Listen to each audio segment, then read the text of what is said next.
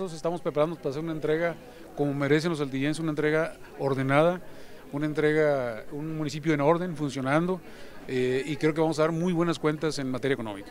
Estamos ahorita aplicándonos a todo el pago de proveedores. Hoy en la tarde tenemos la última sesión de la Comisión de Hacienda que me tocó presidir para ver precisamente la cuenta final en cuanto a la mensual, trimestral, anual, el presupuesto de ingresos y egresos modificado del 2018 y el presupuesto de egresos del 2018 para la siguiente administración. Hemos estado platicando con ellos este, para precisamente el acuerdo sea lo mejor, porque el municipio, que es lo que nos interesa a todos los saltillenses, siga funcionando con orden, con generosidad para todas las familias de nuestro Saltillo. Con la imagen de Miguel Cerda para RCG informó Enrique Hurtado.